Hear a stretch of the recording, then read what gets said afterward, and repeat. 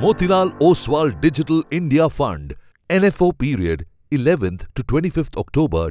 Mutual fund investments are subject to market risks. Read all scheme related documents carefully.